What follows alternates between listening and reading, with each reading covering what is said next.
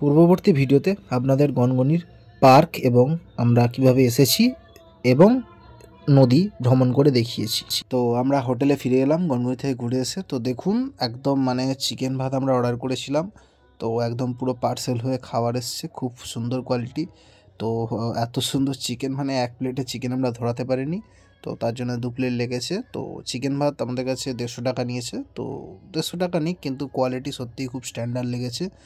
যে তরকারি, সবজি, ডাল, আলু ভাজা, নানা রকম আরও অনেক কিছু দিয়েছে। তার সঙ্গে লেবু, পেঁয়াজ, লঙ্কা যেমন আছে, ভাতের পরিমাণটাও যথেষ্ট বেশি আছে, যথেষ্ট।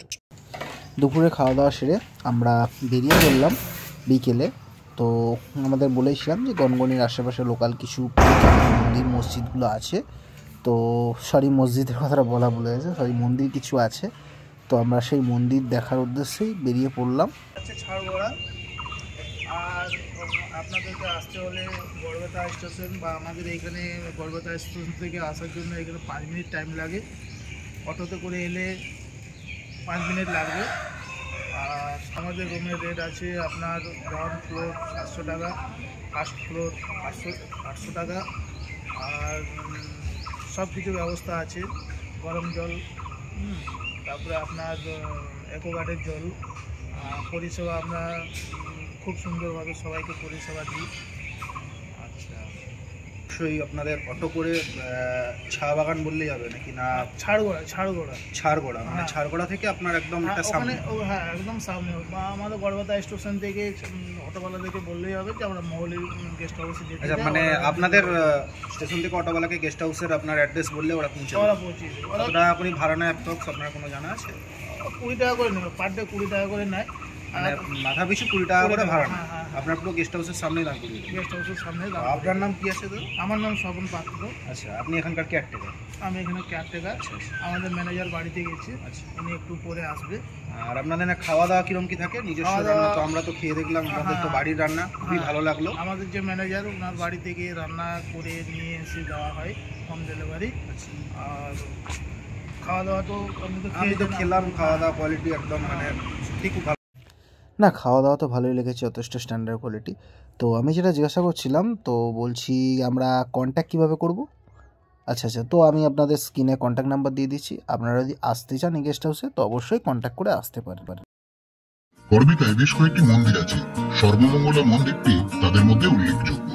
কথিত আছে, উজ্জয়িনীর মহারাজা বিক্রমাদিত্য এই মন্দিরটি প্রতিষ্ঠা করেন। এই মন্দিরটির দরজা উত্তরমুখী।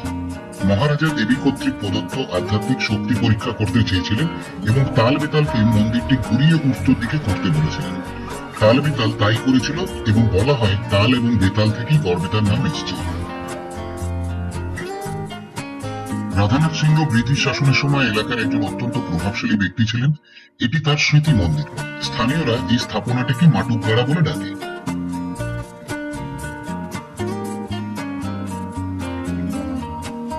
আমরা এবার এলাম সতেরোশো চুরানব্বই সালে প্রতিষ্ঠিত বারো শিব আর লক্ষ্মী জনার্দন মন্দিরে। বর্তমান মন্দিরটি সিংহ পরিবার দ্বারা উনিশশো সাতানব্বই সালে পুনর্নির্মিত। এখানে বারোটি শিব মন্দির এবং একটি লক্ষ্মী জনার্দনের মন্দির রয়েছে।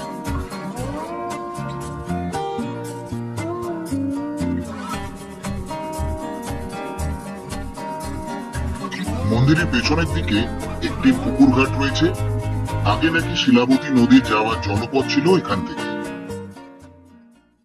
হাতিবাঁধটি জঙ্গলের মধ্যে তৈরি করা একটা কৃত্রিম জলাধার। এটি তৈরি করা হয়েছে বন্য জীবজন্তুর জল খাবার জন্য। এটি মেন রোড থেকে মোটামুটি দু কিলোমিটার ভেতরে। এখানে জঙ্গল বেশ ঘন।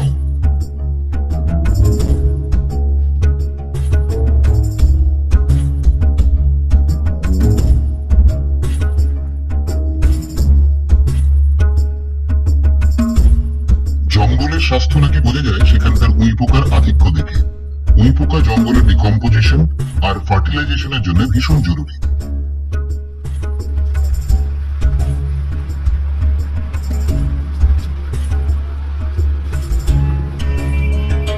জঙ্গলে হাতি দেখে কৃষ্ণরায় মন্দিরটি খুব সুন্দর।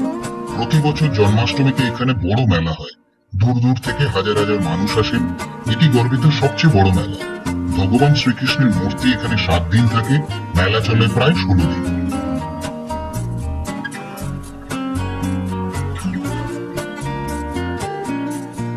এবার আমরা চলে এলাম বাবরি কৃষ্ণ রায় জিউ মন্দিরে। এই মন্দিরটিও শিলাবতী নদীর বাঁকে অবস্থিত। পাঁচটি স্তম্ভ বিশিষ্ট মন্দির সম্পূর্ণ বাংলা স্থাপত্য। বাগরি প্রথম রাজা গজপতি সিংহের মন্ত্রী রাজ্যধর রায় এই মন্দিরটি নির্মাণ করেন। তবে আমরা যখন গেছিলাম, তখন কোনো কারণে মন্দিরটির মূল ফটক বন্ধ ছিল। পরবর্তী ভিডিওতে আমরা দেখতে পাবো জয়পুর ফরেস্ট তো চলুন, আমরা জয়পুর ফরেস্টে যাব। অবশ্যই আপনাদেরকে পরবর্তী ভিডিও দেখাবো। তার জন্য আমাদের চ্যানেলটিকে প্লিজ সাবস্ক্রাইব করে রাখুন এবং শেয়ার করুন।